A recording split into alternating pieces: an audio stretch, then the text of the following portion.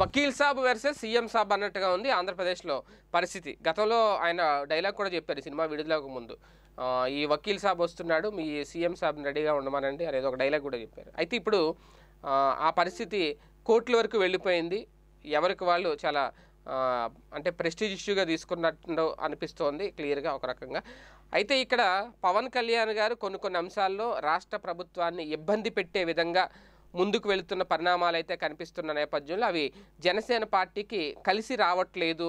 కాస్తంత ఆలోచించుకోవాలి అనేది కొంతమంది విశ్లేషకులు చెబుతున్నమాట. ఎందుకంటే ఇటీవల తిరుపతి ఉప ఎన్నికల సందర్భంగా పవన్ కళ్యాణ్ ముఖ్యమంత్రి వైఎస్ జగన్మోహన్ రెడ్డి గారిని టార్గెట్గా చేసుకుని తీవ్ర స్థాయిలో ఆరోపణలు చేశారు.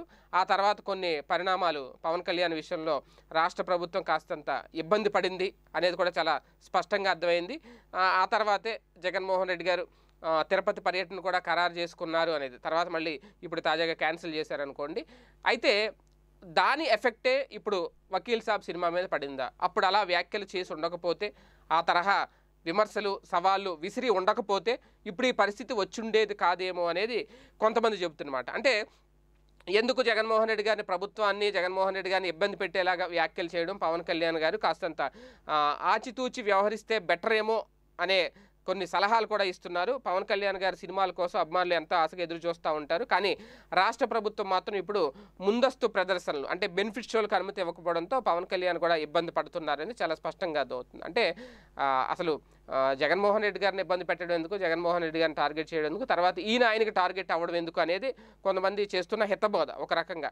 సో ఆయన ఇప్పుడు మళ్ళీ అందుకే రెండోసారి ప్రచారానికి వెళ్ళడానికి కూడా వెనకడుగు వేస్తున్నారు పవన్ కళ్యాణ్ గారని. మళ్ళీ వెళ్ళి మళ్ళీ తరహా వ్యాఖ్యలు ఏమైనా మళ్ళీ చేస్తే మళ్ళీ ఎటువంటి ఇబ్బందులు వస్తాయో కూడా ఒకసారి ఆలోచించుకోండి. కాకపోతే ఏంటంటే నష్టపోయేది అక్కడ ఎవరు అనేది అందరికీ తెలుసు.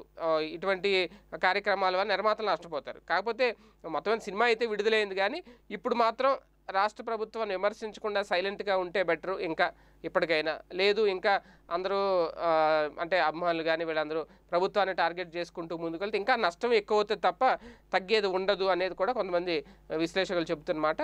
మొత్తానికి సైలెంట్గా ఉంటే బెటర్ అనేది వారు ఇచ్చే సలహా. మరి ఏం జరుగుతుందో చూడాలి. ఈ వీడియో గనక మీకు నచ్చినట్లయితే లైక్ చేయండి షేర్ చేయండి. మరిన్ని వీడియోస్ కోసం మా ఛానల్ను సబ్స్క్రైబ్ చేయండి.